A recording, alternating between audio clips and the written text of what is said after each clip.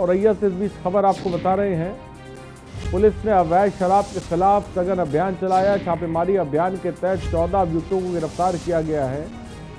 115 litre कच्ची शराब समेत 225 लीटर शराब बरामद की गई है।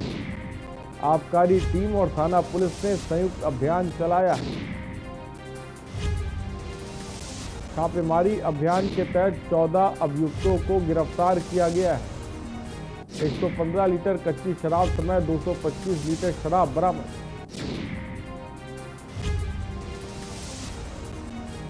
त्योहारों के मद्देनजर की गई अभी तक की बड़ी कार्रवाई। पुलिस ने अवैध शराब के खिलाफ सघन अभियान चलाया है। छापेमारी अभियान के तहत 14 अभियुक्तों को गिरफ़्तार भी किया गया है। और बड़ी मात्रा में कच्ची शराब बरामद की गई।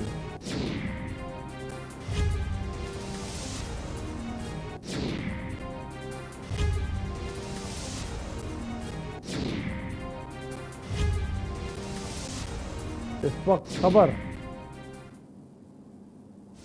औरैया से आपको बता रहे हैं।